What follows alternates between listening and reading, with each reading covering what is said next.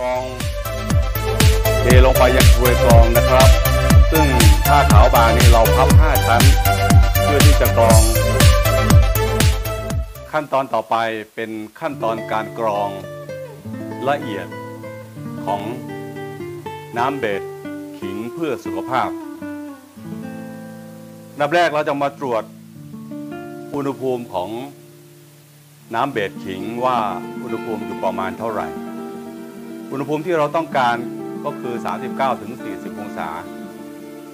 เป็นช่วงที่เหมาะที่จะผสมกับยีสต์ทีนี้เราก็จะมาวัดดูว่าอุณหภูมิเท่าไหร่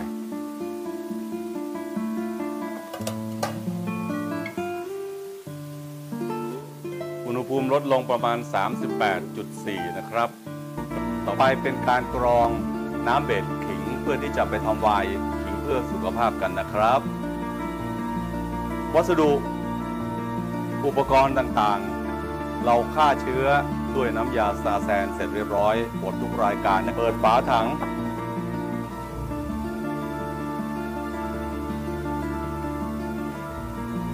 นำกลวย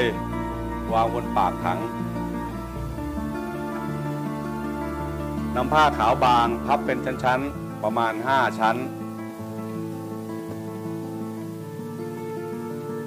ก็วางบนกรวย เนื่องจากว่าเราได้กรองหยาบในครั้งหนึ่งนะครับ ต่อไปเป็นการกรองละเอียดเพื่อที่จะนำน้ำเบสของขิงนี่ลงไปในถังที่จะหมักไวน์ตัดน้ำเบสขิง อันนั้นเราก็กรองเทลงไปยังกรวยกรองนะครับ ซึ่งผ้าขาวบางนี่เราพับ 5 ชั้น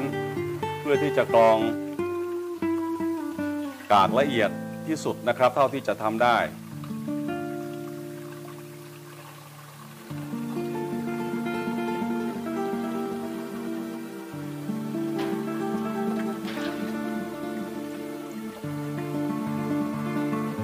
ค่อยๆกรอง พยายามที่จะ ไม่ให้มีเศษกากหรือตะกอนของขิง ที่อยู่ในถังนี่ลงไปนะครับ ค่อยๆกรองลงไปปล่อยให้น้ำผ่านผ้าขาวบาง5ชั้นที่เราพับไว้ ค่อยๆไหลลงไป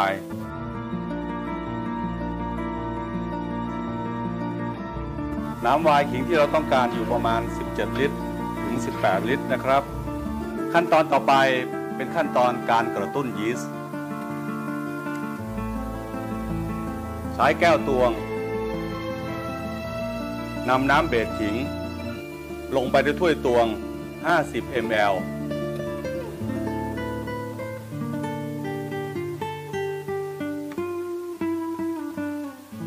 น้ำเบสขิง ปริมาณสุทธิ โดยประมาณ 17 ลิตรครึ่ง เราจะใช้ยีสต์1ช้อนแกงครึ่ง เราจะผสมยีสต์ ลงไปในน้ำเบส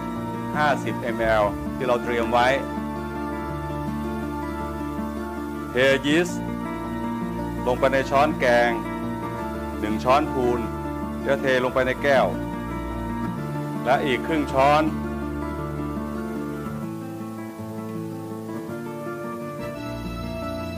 จากนั้นเราจะทิ้งไว้ประมาณ 10 นาที แล้วมาเจอกันครับ หลังจากที่เราได้กระตุ้นยีสต์ผ่านไปแล้ว 10 นาที เรามาดูว่ายีสต์ที่จะผสมกับน้ำเบสของขิงนั้นเป็นอย่างไรบ้าง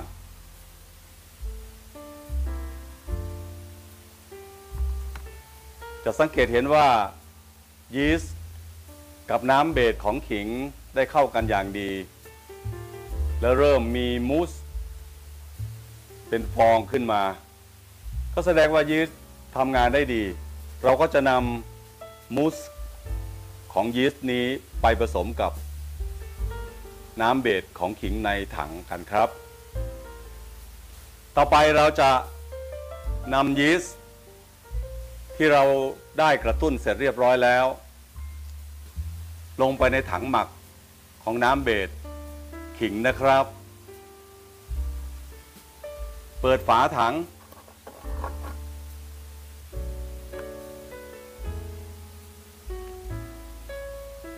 เช็ดปาก ฝาถังให้สะอาด เป็นขั้นตอนที่สำคัญนะครับ ต้องสะอาดทุกขั้นตอน ต่อไป เราจะนำมูสของยีสต์ซึ่งเรากระตุ้นเสร็จเรียบร้อยลงไปในถังครับ ค่อยๆเทลงไป มูสของ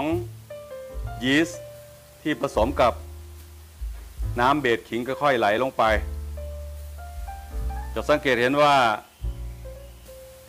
ยีสต์ที่ถูกกระตุ้นแล้วค่อยๆไหลลงไปผสมกับน้ำเบดของขิงนะครับ แล้วค่อยๆหล่นลงไปยังก้นถัง ช่วยเขานิดหนึ่ง จากนั้น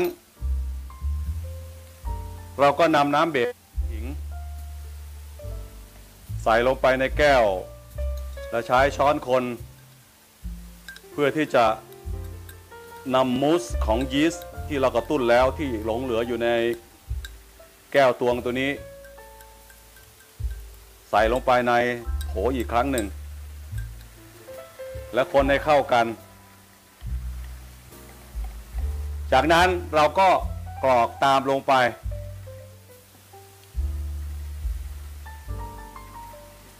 ขั้นตอนต่อไปเราก็ปิดฝาถัง เสร็จเรียบร้อย เราก็ช่วยยีสต์ได้ทำการผสมกับน้ำเบสของขิงให้เร็วขึ้น เพื่อที่จะกระตุ้นให้ยีสต์ได้ทำงานได้เร็วขึ้นนั่นเองนะครับ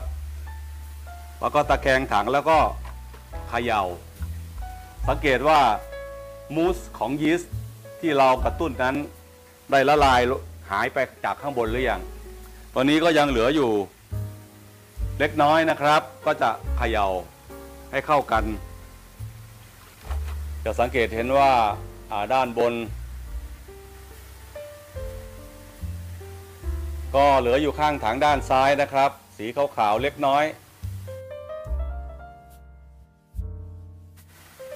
น้ำขิงกับมูสของยีสต์ได้ผสม กับน้ำเบสของขิงเสร็จเรียบร้อยแล้วครับ ขั้นตอนต่อไป เป็นขั้นตอนการเก็บรักษาครับ ขั้นตอนการเก็บรักษาดังต่อไปนี้ ใช้ผ้าสะอาด เช็ดบริเวณปากถัง เพื่อป้องกันไม่ให้มดมารบกวนนะครับ เมื่อเช็ดเสร็จเรียบร้อย เราก็ใช้ airlock ภายใน airlock มีน้ำยา Star San เราก็ใช้ airlock ติดเข้าไปในช่องของ O-ringหมุนให้สนิท ตรวจสอบข้างบนว่าเบี้ยวหรือไม่ ตรวจสอบข้างล่าง ขาของ airlock เบี้ยวหรือเปล่า เพื่อป้องกันไม่ให้แมลงหรือมด รวมทั้งอากาศจากภายนอกเข้าไปในถังนะครับ หลังจากที่เราติด airlock เสร็จเรียบร้อย เราก็หมุนฝาเกลียวถังให้แน่น จากนั้นเราก็ใช้กระดาษกาวหรือแลกซีนหรือกระดาษ มาติดไว้ เขียนชื่อของวายชนิดวายแล้วก็เขียนแท็กวันที่ปิดถัง อีก 15 วันเปิดถังวันที่เท่าไหร่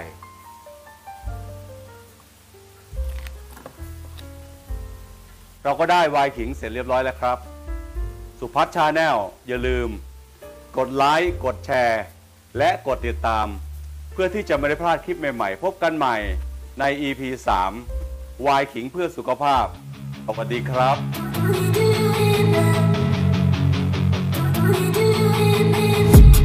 I've been dreaming on in my head like I've seen it A life worth living is a life with meaning I'll do what I love till my heart stops